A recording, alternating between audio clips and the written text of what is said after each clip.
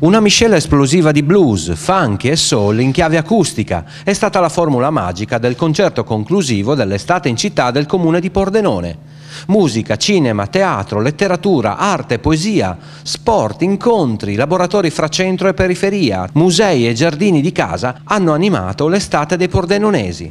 Grossa soddisfazione nelle parole dell'assessore alla cultura Claudio Cattaruzza. Con uno scoppiettante concerto del bluesman Muddy Waters Jr. si è conclusa domenica scorsa il Festival Blues che ha concluso anche l'estate in città, un'estate che è stata abbastanza versata da condizioni meteorologiche meteorologiche particolarmente sfavorevoli, ma che ha visto comunque un'ottima risposta di pubblico, anche perché tutti gli appuntamenti avevano sempre una soluzione diversa al coperto proprio in funzione di quello che poteva essere in caso di maltempo. Adesso la città si sta preparando ai grandi avvenimenti di settembre, quindi ci saranno sia Pordenone Legge a seguire le giornate del mutuo, c'è l'Arlecchino Errante, l'amministrazione comunale ha predisposto tutta una serie di appuntamenti e di mostre a cui vi invitiamo e che renderanno l'offerta culturale della nostra città completa in maniera tale da presentare proprio la comunità nel migliore delle sue espressioni.